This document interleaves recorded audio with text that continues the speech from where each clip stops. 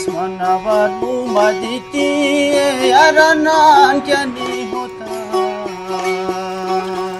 शहराए बल्तिस्तान पर सफ़र के दौरान गर्बीदास से गुजरते हुए दरिया पार वो गाँव आपने देखा ज़रूर होगा लेकिन बहुत कम इतफाक हुआ होगा कि आप वहाँ तक गए हो। आज हम आपको उस खूबसूरत मुकाम पर लेके जाएँगे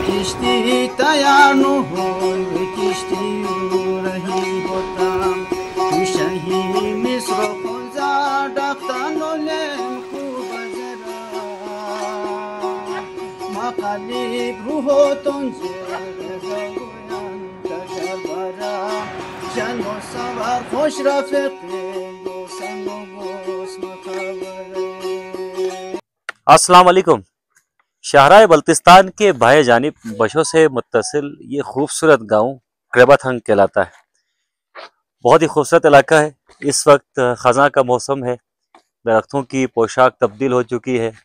एक तरह से मंज़र देवमलाई हो चुका है। सर्दी की शिद्दत भी इतनी ज़्यादा नहीं क्योंकि हल्की फुल्की सर्दी महसूस हो रही है। आ, लेकिन उस शिद्दत की सर्दी नहीं है जिसे हम शदीद सर्दी कह सकते हैं।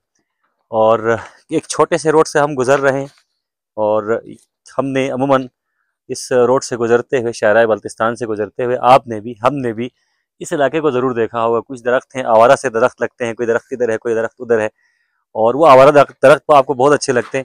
लेकिन जब आप यहाँ पर आते हैं तो ये इलाका बहुत वसी है बहुत ज़्यादा वसी है। आप यहाँ पर ट्रैकिंग कर सकते हैं आप यहाँ पर हाइकिंग कर सकते हैं और आप यहाँ पर कैंपिंग भी कर सकते हैं महकमा जंगलात और साथ साथ महकमा ज़रात के कैंप्स भी यहाँ पर बने हुए हैं। उन्होंने बड़े पौधे यहाँ पर लगाए हैं। एक मुकामी फ़र्द हमारे साथ हैं इनका ताल्लुक भी कबर संघ से है। भाईजान क्या नाम है आपका? मेरा नाम मोहम्मद काजिम है सर। काजिम भाई क्या करते हैं? ये जंगलात में है सर। अच्छा आप जंगलात में मुलाजिम हैं। ठीक है। इसी इलाके से आपका ताल्लुक है? इसी इलाके से सर करावतों से। ठीक। बशों से मुतसिल है ना? ये बशों का इलाका पड़ता है। बशों से हाँ सर। ठीक है। तो आप कितना अरसा हुआ आपको मुलाजमत करते हुए? एक साल सर। एक साल। अभी आप बिल्कुल बच्चे लगते हैं। हाँ सर एक कहाँ तक पढ़ा आपने? हमने टेंथ तक पढ़ा है सर। अच्छा मैट्रिक आपने किया उसके बाद आपने मुलाजमत इख्तियार की।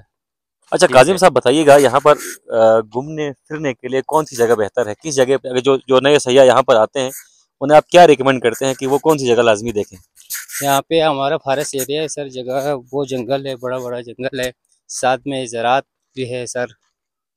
इसके अलावा गाँव में गाँव में कोई ऐसा पॉइंट है। जहाँ से हम पूरे गाँव को देख सके? ऊपर एक पहाड़ है सर हर चीज़ हर तरफ़ नज़र आते है सर। अच्छा ठीक।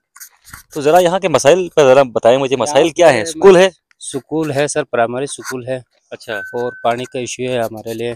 पीने के पानी का इशू है? पीने के पानी का इशू है और खेतों का भी इशू है सर पानी का। पीने के लिए पानी आप कहाँ से लाते हैं? वहाँ पे चश्मे बड़ा एक चश्मा वहाँ से लेकर आते हैं सर। इसके अलावा रोड के बारे में बताइए गाड़ी ऊपर गाँव तक पहुँचती है? रोड तक पहुँचता है सर घर। घर तक? घर तक पहुँचता है ठीक है।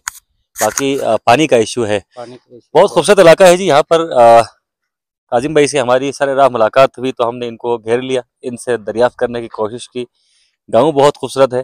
ताहम पीने के पानी के हवाले से बड़ी मुश्किल हैं यहाँ के मकामी अफराद को। और एक चश्मा यहाँ पर है जहाँ से तमाम मुकामी अफराद जो है पीने का पानी इस्तेमाल करते हैं। इसके अलावा खेतों के लिए जो पानी है वो कहाँ से आता है?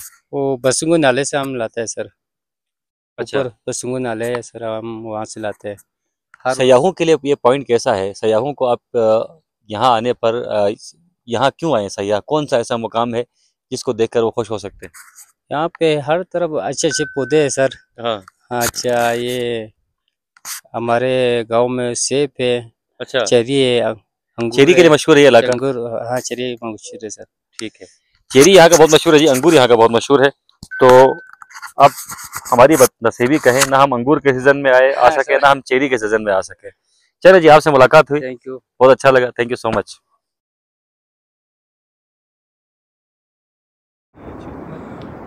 अहबाब ग्रामी ये क्रमाथंग का गाँव है जिसे चोरुंग भी कहा जाता है और लगभग साठ के करीब घराने यहाँ पर आबाद हैं। और अगर हम फ़सलों की बात करें तो फ़सलों के लिए ये ज़मीन इंतहाई मौजूद समझी जाती है, ताहम इरीगेशन के लिए पानी का हसूल यहाँ के मकीनों के लिए किसी मुश्किल से कम नहीं है।